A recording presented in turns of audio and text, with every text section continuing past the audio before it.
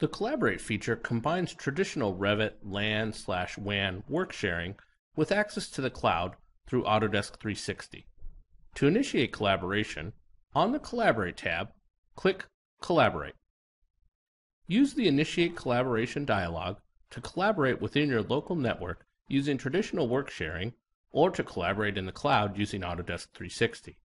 For example, use the Collaborate using Autodesk 360 option to collaborate on a model with structural engineering consultant who is outside your company.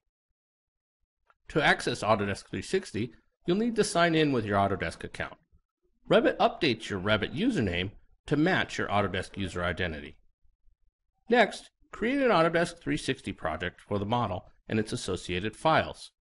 If the desired Autodesk 360 project already exists, you can select it here. With the Autodesk 360 project name selected, click Initiate. The Initiate process enables worksets for the model, if not already enabled, if necessary, creates the project on Autodesk 360, uploads the model to the Autodesk 360 project, and creates a version of the model on your local machine. Next, invite the structural engineering consultant to collaborate with you on the project. On the Collaborate tab, click Team to open the Communicate window.